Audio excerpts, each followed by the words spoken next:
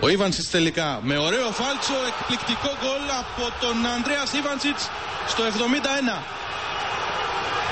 Του έλειπε ένα καλό φάουλ, πάνονται οι πράσινοι ξανά εδώ. Υποδειγματική εκτέλεση φάουλ από τον Ιβανσιτς στο γάμα της αιστείας του Τέρολ. Και εδώ θα φανεί καλύτερα.